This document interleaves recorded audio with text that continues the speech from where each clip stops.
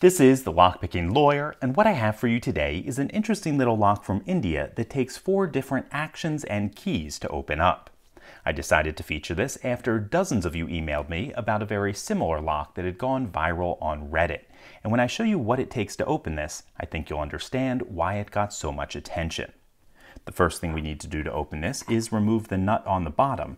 That's done using the square portion on the bow of this key, and we will use that as a wrench. Once it's loose, we can remove it by hand. The next thing we need to do is loosen the bolt that's down that hole. That's done using this key. And as we loosen that bolt, you'll see the lock body starts to expand and it will reveal two separate keyways. The first keyway is on the front. We will operate that using this key.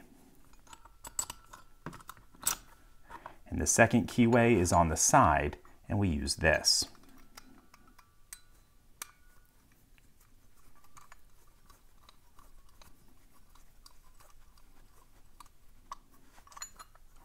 Okay, now the truth about this lock is it's more of a mechanical obstacle course than an actual security device.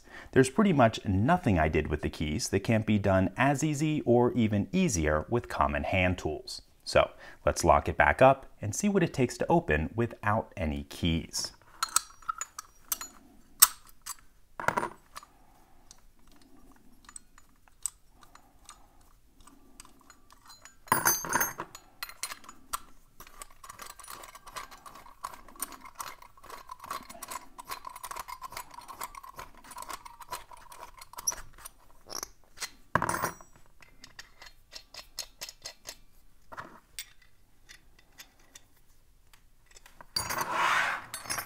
Okay, once again, we are going to remove this bottom nut, but this time I'm just going to do it with this wrench.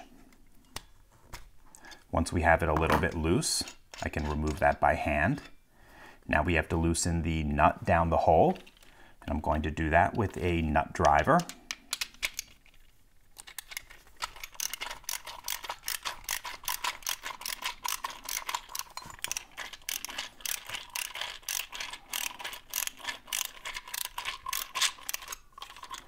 Okay, now that we have revealed the two keyways, this one is not actually a lock. Any bent piece of wire will open it.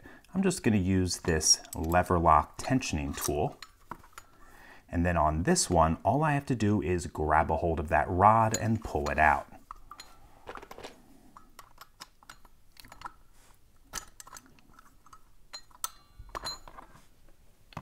Okay, folks, as I think you saw, this is more of a puzzle or a mechanical obstacle course than an actual security device. That said, it is a ton of fun and a thoroughly interesting lock. In any case, that's all I have for you today. If you do have any questions or comments about this, please put them below. If you like this video and would like to see more like it, please subscribe. And as always, have a nice day. Thank you.